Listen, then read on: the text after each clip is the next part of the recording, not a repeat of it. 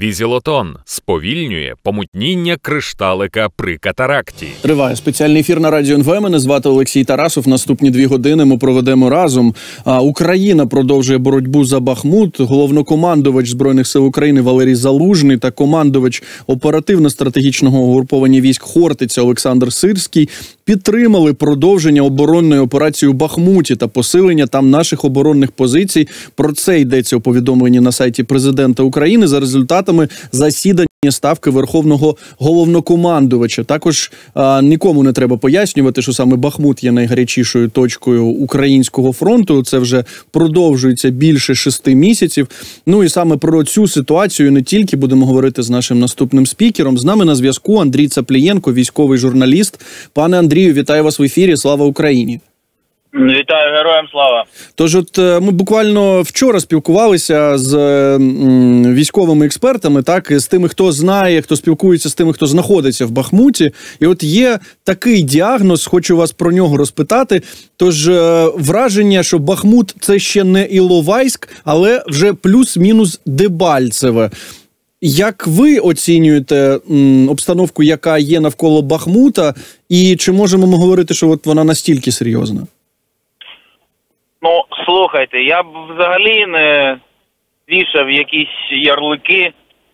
Е, кожна військова операція, вона має ну, якісь, напевно, схожі риси, але відмінності значно е, більше. І Бахмут це є Бахмут. Розумієте, це достатньо велике місто, майже 100 тисяч населення там жило до війни. Воно територіально достатньо розлоге, складний рельєф. Е, і тому тому я б я б не порівнював ані з Дебальцевим, ані з Іловайськом. Е, Тим більше, що е, на відміну від е, операції в Іловайську, де було буквально кілька сотень українських військових, здебільшого добровольці, у нас е, в Бахмуті достатньо достатньо потужне угруповання, е, кілька бригад. Е, Є е, бригади Національної гвардії, Збройних сил, є прикордонники, між ними чудова координація дій. Вони розуміють, що роблять, вони е, відповідають за певні сектори в обороні міста. Так що я б я б такі порівнювання не застосовував, знаєте, от на мою думку. Окей, е, розумію, про що ви кажете. Ну от е, знову ж таки здається, що зараз ну такою важливою частиною оборони Бахмута було б відкинути ворога від однієї з важливих трас. Ну тому що е, майже все вони контролюють. Якою яким ви бачите наше завдання? Там ну от з того з тих подій, які ми спостерігаємо? Ну в принципі, там дві траси основні. Значить, е, траса на Костянтинівку, е, Костянтинівка Бахмут, і траса, е, яка з ну, власне не, не траса, а скоріше дорога з міста Часів Яр на напряму на на східній околиці, на західній вірніше околиці Бахмута. І фактично ці це ці дві траси це дороги життя, по яких йде постачання, логістика, е, звідти вивозяться поранені. І звісно, контроль е, для за цими трасами для нас е, е, життєво важливий. Ну от наскільки я знаю, наскільки я знаю, попри те, що е, росіяни обстрілюють обидві траси, і до траси Бахмут Костянтинівка вони достатньо близько підійшли. Українцям все ж таки вдалося е, трохи їх відтіснити. Це в районі населеного пункту Іванівське, і і Україна зараз контролює ці е, ці дві траси. Ну і ну, наскільки я знаю, я підтримую контакт з хлопцями, які там знаходяться. Е, намірів виходити з Бахмута поки що немає. Попри от, попри всю складність ситуації у попри е, втрати, попри обстріли, попри те, що це вже, як хлопці кажуть, не пекло, а щось більше ніж пекло. Е, настрій в наших військових там достатньо високий і достатньо бойовий. Ну от е, дійсно знову ж на підтвердження цього, от е, те, що я казав, там цитував е, повідомлення, яке з'явилося на сайті президента України, що от була ставка, було засідання ставки Верховного головнокомандувача, і як повідомляється, Володимир Зеленський запитав у залужного та сирського, поставив їм питання щодо Бахмута, і вони підтвердили, що так вважають за потрібне, щоб оборона продовжувалася, так щоб ми не відходили, не відходили звідти. Але я думаю, що ви також бачили цю публікацію. Значить, німецька газета Більд писала про те, що нібито між Зеленським та Залужним виникла суперечка щодо боїв про Бахмут, і а, значить, вони посилаються на свої якісь джерела у політичному керівництві України. Я тут знаєте про що хочу спитати? Не про те, чи була ну, суперечка, чи вона є, чи вона можлива, а скоріше я, про я, так, так. Да, я б я, я би вас перебив. Знаєте, при всій повазі у газети Біль. Я думаю, що на ставку е, верховного головнокомандувача е, журналістів газети Більд не запрошували. І це те, що вони передають, це скоріше не факт, а така інтерпретація якихось фактів. Тому сказати про якусь суперечку, говорити про якусь суперечку між е, е ключовими людьми, які відповідають за оборону України, я думаю, що про це говорити не варто. Е, те, що ми бачимо в Бахмуті, дивіться, втрати у росіян шалені. От шалені. Е, секретар Радбезу Данилов озвучив співвідношення як один до семи. Тобто на кожного з наших загиблих воїнів приходиться сім е, вбитих окупантів. Це ну ну це просто ну шален, шалені втрати, неймовірні втрати. Вони реально просто там перемелюють своє власне військо. Далі е, є в них е, спроби наступу на Луганському напрямку, і є в них спроби наступу під Вугледаром. Ну зараз це називається такий Шевче, е, Шахтарський напрямок, на селище Шахтарське. І на обидвох цих напрямках їхні так звані наступи захлинулись. Тобто е, зараз ми бачимо е, бачимо те, що е, якщо захлинеться і наступ під Бахмутом їхній, то це дійсно створить такі сприятливі умови для України для контрнаступу. На якому напрямку? Ну я думаю, що поки що е, наші військові не кажуть, але думаю, що вони до цього готуються. І тому е, при всьому трагізмі ситуації, а ситуація в Бахмуті дійсно, ну знаєте, з огляду на якість людей, яких ми там втрачаємо, з огляду на те, що там найкращі наші люди і вони там гинуть.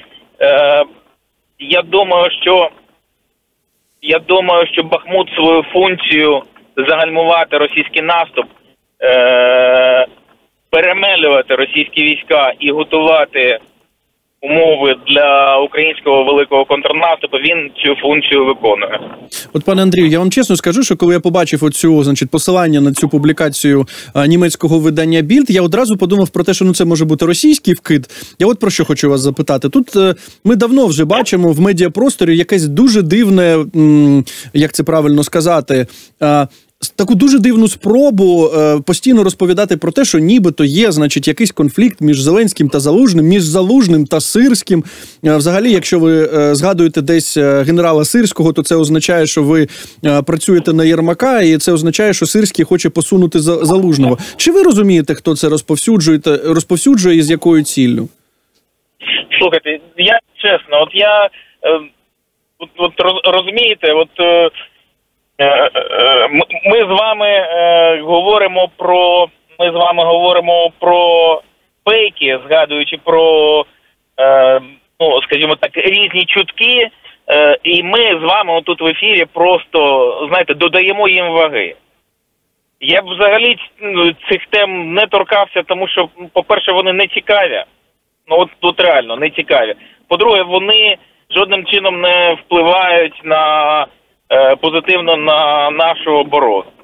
І по-третє, я не, не не, знаю, хто їх розповсюджує. Я думаю, що е, їх розповсюджують ті люди, у яких дуже багато вільного часу, і вони просто хочуть е, обмінятися своїми, так би мовити, думками. От і все. Е, Зараз розумієте, зараз зараз всі працюють на е, одну задачу на перемогу на перемогу України. Якщо не буде перемоги України, всі ці чутки, хто там е, з ким посварився, е, хто там кому кум, сват, брат, вони вони втратять. Е, Е, своє значення. Вони не будуть мати сенсу, тому що не буде України. Е, не буде кому з ким сваритися, і не буде е, кого розумієте? Тому тому я б взагалі не концентрував на цьому увагу. От серйозно, чесно. Я тут з вами погоджуюсь. Просто знаєте, дуже важливо, щоб е, розуміли українці, що ну немає такого, і більше того, от е, сам сама така заява з повідомлення про те, що разом Валерій Залужний, Олександр Сирський та е, Володимир Зеленський е, мають одну ту саму думку щодо того, наприклад, що має відбуватися в Бахмуті. Це також підтверджує те, що ну немає ніякого е, протистояння, конкуренції і так далі. А от той факт, що генерал Сирський та ще командувач е, сил спеціальної операції Віктор Хоренко відвідали Бахмут. Це було попередні декілька днів. Як ви розумієте, те, що ну саме такі е, високопоставлені е, військові начальники були там? Ну, по-перше, я мушу сказати, що е, українське командування насправді е, українські генерали достатньо часто відвідують е, лінію фронту. Е, на відміну від на відміну від, скажімо так, російських генералів, які взагалі уникають своїх своїх появ на передовій. Так, вони вони відвідують, але ну не настільки часто, як українські офіцери, вищі офіцери. І по-перше, це мотивує солдатів. Знаєте, коли солдати бачать, що з ними генерали, е, вони вони воюють, е, розуміючи, що е, що їхня задача важлива, і що їхнє життя важливе, і що е, генералітет не боїться ризикувати своїм життям. Це дуже важливо, це мотивує. І по-друге, коли ну для того, щоб правильно сплановувати операції, генералам потрібно все бачити на свої очі. Розумієте, коли ти бачиш ситуацію на карті, це одне. Але коли ти бачиш е, ситуацію, коли противник від тебе там за 700 е, метрів, це це зовсім інше відчуття. І ти бачиш ці проблеми, які є в солдатів, бачиш їхню готовність, бачиш ті фактори, які зазвичай в у цьому військовому калькуляторі, е, який оперує кількістю військ е, та кількістю бронетехніки, вони просто ну, не відображають. Готовність до бою, мотивація, е, розум військовий, злагодженість це все ті фактори, які ти можеш побачити лише тоді, коли ти знаходишся безпосередньо в гарячій точці, і тому тому наші генерали так часто туди їздять. Ну так, ми впевнені в тому, що це дуже має надихати наших захисників, зважаючи на те, в яких е, складних е, обставинах вони знаходяться, і ви вже сказали, що це вже більше ніж пекло. Є ще от е, інша тема. Звичайно, що ну це пов'язано. Звичайно, що зараз ми маємо зміну сезонів, зміну погоди, і всі вже говорять про те, що звичайно є така розпутиця, так і е, головне запитання ось в чому. Е, Зважаючи на те, що земля розм'якла, і що ну скоріш за все е, вона знову е, стане сухою, придатною для того, щоб пересувалася нею е, важка техніка. Ну, десь можливо всередині в кінці квітня, а то й в травні. То от що ви особисто очікуєте від цих от таких двох чи е, півтора місяців е, того, що важка техніка не може пересуватися? Ну, дивіться, е, весняна погода завжди на боці того, хто обороняється, і вона проти того, хто наступає. Тому що вона не дає ефективно просуватися. От буквально е, кілька днів тому почалась розпутиця, і хлопці в Бахмуті заговорили про те, що мовляв, і погода на нашому боці, тобто вона погода заважає ефективному просуванню російських військ. Е, Я думаю, що я думаю, що е, ну, нашим завданням найближчим буде під час оцієї розпутиці поганої погоди, оцих двох місяців, е, перемолоти максимальну кількість російських військ під час їхнього наступу, коли погода їм не сприяє. А от коли вони виснажаться, я думаю, через один-два місяці, коли вони виснажаться, тоді я думаю, варто чекати на український контрнаступ. Е, ми всі на нього чекаємо. Знову ж ми постійно так чи інакше згадуємо можливі ракетні обстріли з боку Росії. І от є дві думки щодо цього. Е, перша, що ну, якщо у росіян у їхнього військового керівництва все таки є мізки, то вони не будуть обстрілювати Україну. Ну мається на увазі саме такі масовані обстріли, тільки там якісь точкові, так якщо в них буде е, якась інформація щодо наших військових об'єктів, чи вони будуть хотіти їх знищити. Е, тобто немає сенсу нас обстрілювати. З іншого боку, це друга точка зору, що. Е, обстрілювати будуть продовжувати, тому що їм треба щось показувати пропаганді, щоб е, їхнім цим турбопатріотам, так ватнікам, їм же ж треба радіти, тому що знову обстріляли Україну. Якось з цих думок притримуєтеся ви? Чи будуть обстріли, чи все таки вони їх не будуть робити такими масованими? Ну я на рахунок масованості обстрілів не можу нічого сказати. Е, не знаю, але за логікою цієї війни вони не відмовляться від цієї тактики, тому що фактично їхня єдина, ну скажімо так, е, перевага в зброї це далекобійні ракети, якими вони можуть е, завдавати ударів, не заходячи в повітряний простір України. Значить, вони будуть це робити, вони спробують обрубати наші е, шляхи логістичного постачання.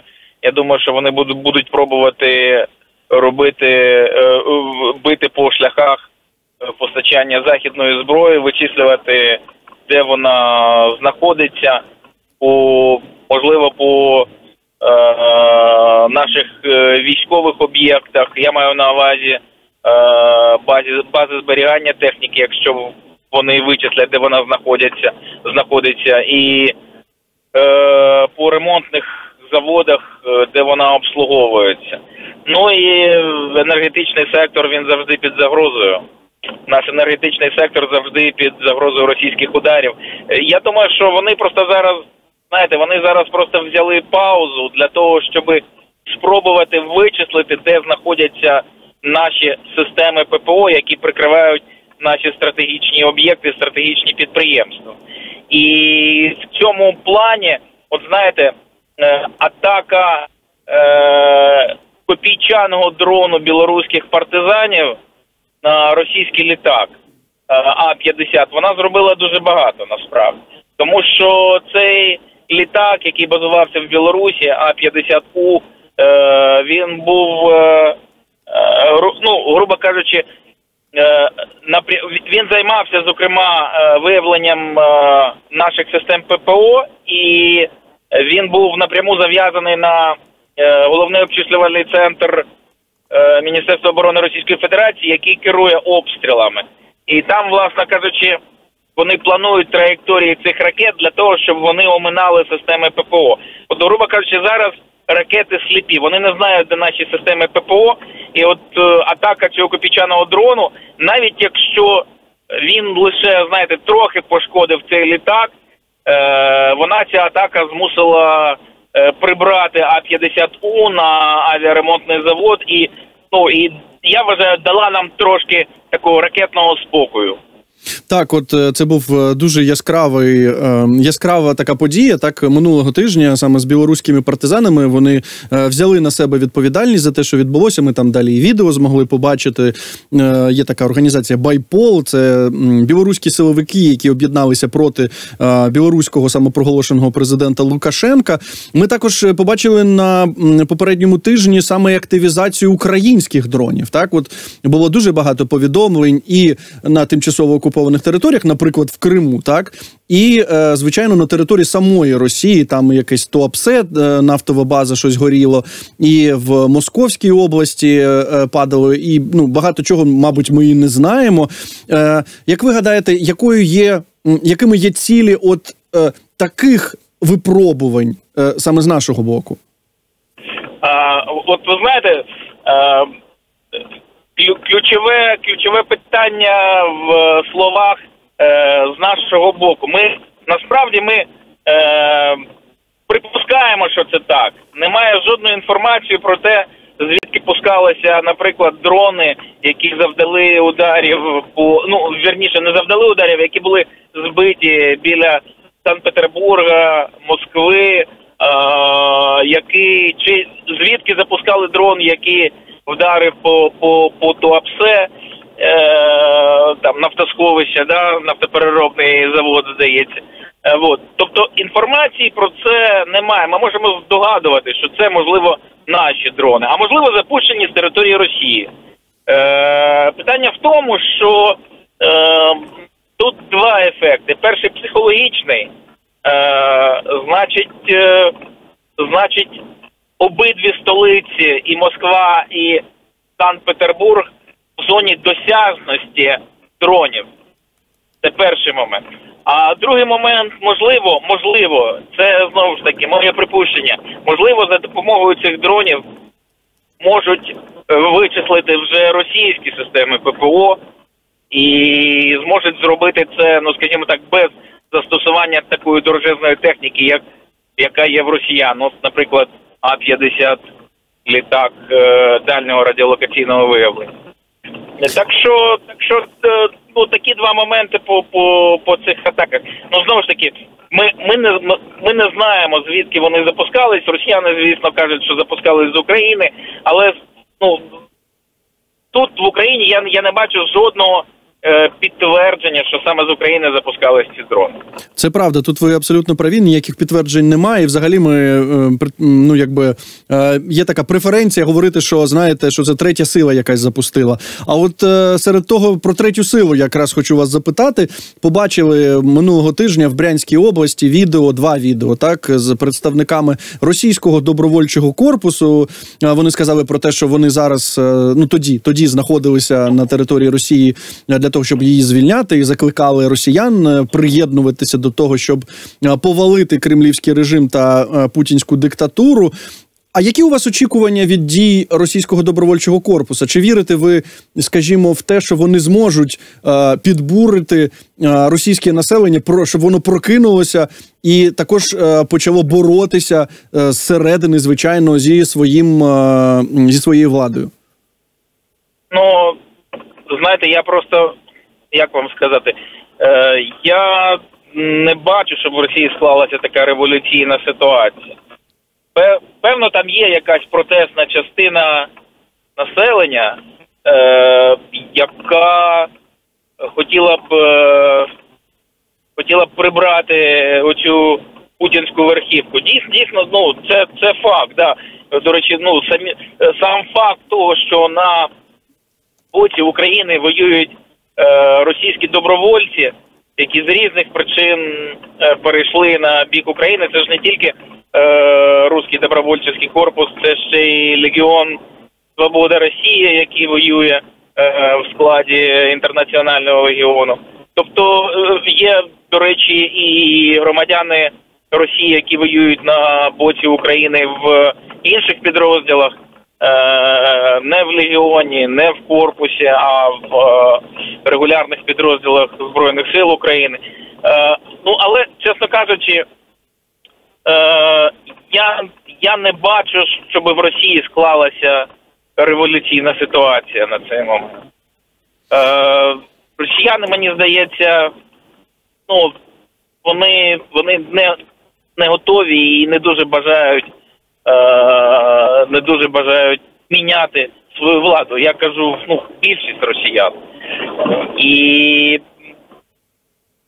чому, чому Руський добровольчий корпус е, погодився на цю операцію? Е, не погодився, а вирішив перейти, е, перейти кордон і е, засвітитися там. Ну я я не знаю. Я просто знаю, що ці хлопці е, достатньо достатньо такі е, відчайдушні. Е, це ж е, люди, які одними з перших висадились на острів Зміїний після того, як Зміїний е, звільнили, якщо ви знаєте. Е, які були міркування, ну мені залишається здогадуватись, чесно. Пане Андрій, ну ми всі будемо дивитися, що далі буде відбуватися, як будуть розвиватися події на території Росії. Я вам дуже дякую за цю розмову. Андрій Цаплієнко, військовий журналіст, був з нами на зв'язку.